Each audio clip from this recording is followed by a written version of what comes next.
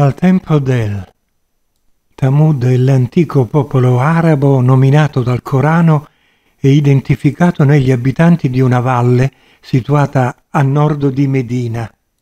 Al tempo del medium Maometto questa civiltà si era spenta da poco.